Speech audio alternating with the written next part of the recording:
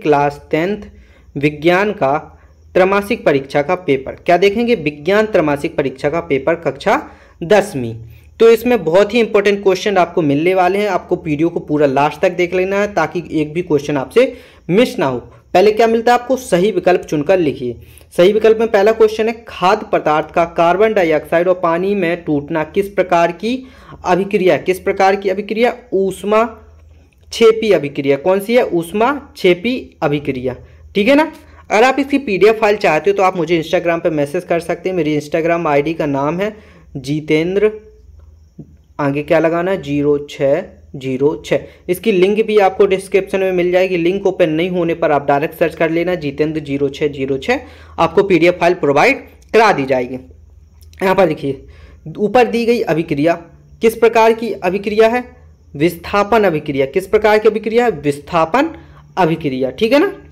किसी रासायनिक अभिक्रिया में भाग लेने वाले पदार्थ कहलाते हैं। क्या कहलाते हैं? अभिकारक कहलाते हैं। क्या कहलाते हैं? अभिकारक। आगे। H2 के योग एवं O2 का ह्रास कहलाता है। H2 का योग एवं O2 का ह्रास क्या कहलाता है? अपचयन कहलाता है, ठीक है ना? टूटी हड्डियों को जोड़ने के लिए प्लास्टर चढ़ाते हैं। किस पदार्थ का बना होता? है प्लास्टर ऑफ़ पेरिस का बना होता है। किसका? प्लास्टर ऑफ़ पेरिस इसका एक फॉर्मूला भी याद कर लेना ताकि फॉर्मूला भी पूछे तो आपसे बन जाए। दही में पाया जाने वाला अम्ल है। कौन सा अम्ल है? लैक्टिक अम्ल है। क्या? लैक्टिक अम्ल। केक व पाव रोटी बनाने में किस पदार्थ का उपयोग होता? है बेकिंग सोडा का उपयोग होता है। किसका? बेकिंग सोडा का। अपच का उपचार करने के लिए निम्न में से कौन सी औषधि दी जाती है? एंटेसिड। कौन सी औषधि दी जाती है? एंटेसिड। ठीक है ना? अब यहाँ पर क्या है अपना? रिक्त स्थान है। रिक्त स्थान की पूर्ति अपन को करना है। मानव शरीर में ऑक्सीजन परिवहन के लिए उत्तरदायी वर्णक है। एच बी वर्णक का नाम क्या है? हीमोग्लोबिन। क्या है? हीमोग्लोबिन। ठीक है ना? ऐसे, हीमोग्लोबिन। बड़ी ही कर लेना इसमें। पादपों में जल का परिवहन जल यानी कि जाइलम जाइलम, ठीक है ना? भोजन यानी कि फ्लोयम। पादपों में जल का परिवहन जाइलम द्वारा और फ़ूड यानी कि भोजन का परिवहन फ्लोयम द्वारा होता है। ये दोनों क्वेश्चन आप कर लेना दो दो दोनों क्वेश्चन मैंने आपको बताए हैं। आगे, कपाल तंत्रिकाओं मेरु रज्जु तंत्रिकाओं से तंत्रिका तंत्र का निर्माण होता है। कौन से तंत्रिका तंत्र का निर्माण होता है?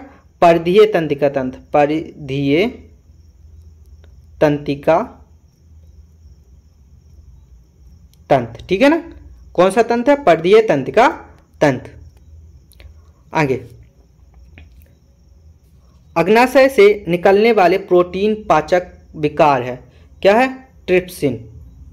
क्या है? ट्रिप्सिन। ठीक है ना? मनुष्य में प्रतिवर्ती क्रिया का केंद्र है। मनुष्य में प्रतिवर्ती क्रिया का केंद्र है केंद्रीय तंत्रिका तंत्र। केंद्रीय तंत्रिका तंत्र। ओके? केंद्रीय तंत्रिका तंत्र। मनुष्य के मस्तिष्क में सोचने वाला केंद्र। सोचने वाला केंद्र क्या है? सेरे ब्रह्म। क्या सोचने वाला केंद्र सेरे ब्रह्म। दो तंत्रिकाओं के मध्य खाली स्थान को क्या कहते हैं अपन?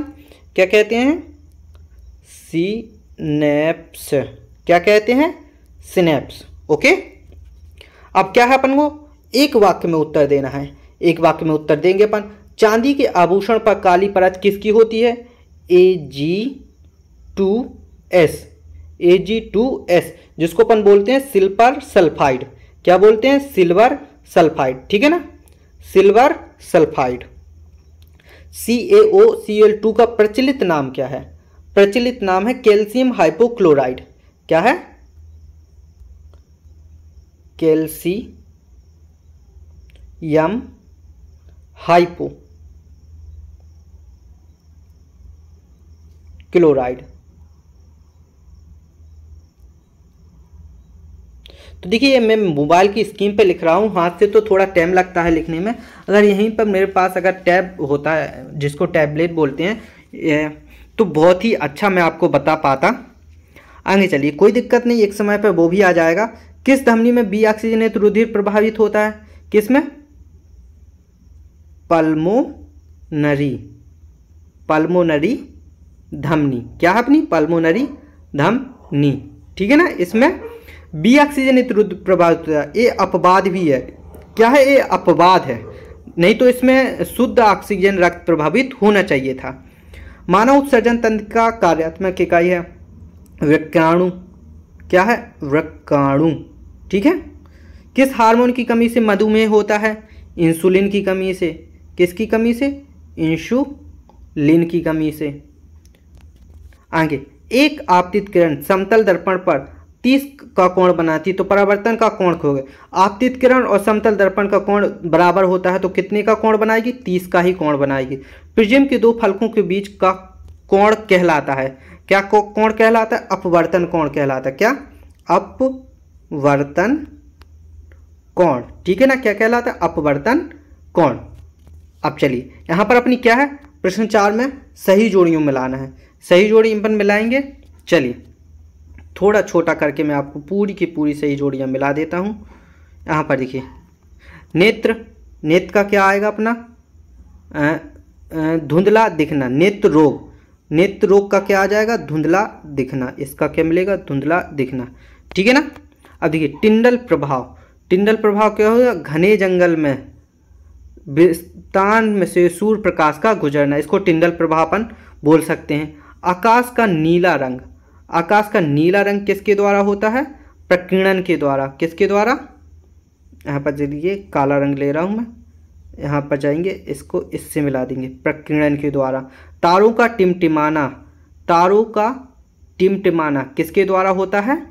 वायुमंडलीय अपवर्तन के कारण। इस सी, देखिए, चार नंबर को सी से मिला देंगे। स्पेक्ट्रम। स्पेक्ट्रम क्या है अपना? पाँच। पाँच को अपन इंद्रधनुष से मिला देंगे, ठीक है? उत्तर लेंस उत्तर लेंस क्या होता है? अपना बीच में मोटा तथा किनारों पर पतला, ठीक है? एक सरल रेखीय पथ, प्रकाश किरण डायोप्टर लेंस की क्षमता। तो यहाँ पर देखिए, सबके सब यहाँ पर मिला दिए हैं मैंने। कोई भी नहीं रह गया है तो आप अच्छे से कर लेना। यहाँ पर देखिए, एक क्वेश्चंस के लिए आप पीडीएफ फ़ाइल डाउनलोड कर लेना। आपको पीडीएफ फ़ाइल प्रोवाइडेड करा दी जाएगी। तो आप पूरे के पूरे क्वेश्चन यहाँ पर देख लीजिए। वॉशिंग सोडा के कोई दो उद्योग, उपयोग लिखिए, अम्लीय वर्षा क्या है, ये सभी आपको पूरे के पूरे क्वेश्चंस आपको कर लेने। एक भी क्वेश्चन आपको नहीं छोड़ना है, ताकि आपका पेपर सबसे अच्छा जाए। ठीक है ना? यहाँ पर चलिए पूरे पूरे क्वेश्चंस मैंने आपको बता दिए हैं। कोई भी क्वेश्चंस यहाँ पर नहीं रह गया है। अब इसकी पीडीएफ फ़ाइल डाउनलोड करने के लिए आपको क्या करना है? मेरा टेलीग्राम चैनल ज्वाइन कर लेना। टेलीग्राम चैनल का नाम है जीत फॉर यू वहाँ पर आपको इसकी पीडीएफ फ़ाइल मिल जाएगी। लिंक भी आपको डिस्क्रिप्शन में मिल जाएगी। लिंक ओपन नहीं हो तो डायरेक्टली सर्च कर लेना। जीत फॉर यू वहाँ पर आपको इसकी पीडीएफ फ़ाइल प्रोवाइड करा दी जाएगी। तो अब क्या करना है आपको? इस वीडियो को लाइक करना है चैनल को सब्सक्राइब करना, ताकि हर आने वाली वीडियो का नोटिफिकेशन आपको मिल सके। मिलते हैं ऐसी अगली वीडियो में, तब तक के लिए धन्यवाद।